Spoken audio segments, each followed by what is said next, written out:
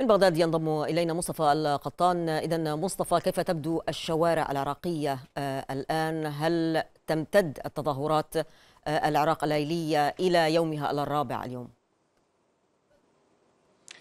يعني هبة بالتأكيد طبعا هنالك انتظار من قبل الشارع العراقي لما سوف تؤول إليه الأمور وماذا سوف تقوم به الحكومة العراقية من استجابة لمطالب المتظاهرين التي تنصب بمجملها في لتحسين الواقع الخدمي باعتبار أن الآن الضغوطات التي يتعرض إليها الفرد العراقي بسبب الأوضاع السيئة خدميا آه، تدفعه إلى الخروج وتظاهر ومطالبة الحكومة باتخاذ إجراءات حقيقية وفاعلة من أجل تخفيف وطأة هذه الخدمات السيئة على كاهل المواطن العراقي. أول المطالب بالتأكيد هي آه، توفير آه، الكهرباء لمختلف المدن العراقية باعتبار أن العراق الآن يدخل في فصل الصيف في كل سنة ربما خلال السنوات الثلاث الماضية في هذه الفترة بالتحديد وهذه الأشهر بالتحديد عندما ترتفع درجات الحرارة تسوء معها بالتزامن طبعا آه، الخدمة الكهربائية وبالتالي تحفز خروج التظاهرات بالإضافة إلى طبعا المطالب الأخرى من تعيين للعاطلين وكذلك محاولة آه، آه، يعني الانتباه إلى الطبقة الفقيرة في المجتمع العراقي ومحاولة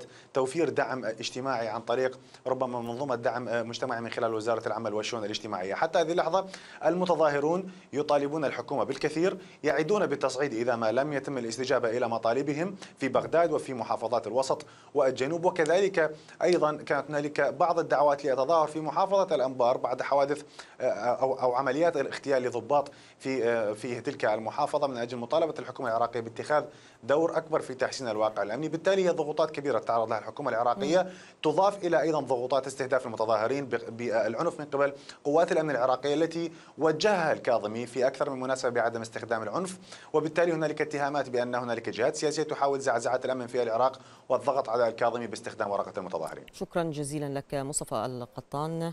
مراسل الغد كنت معنا من بغداد.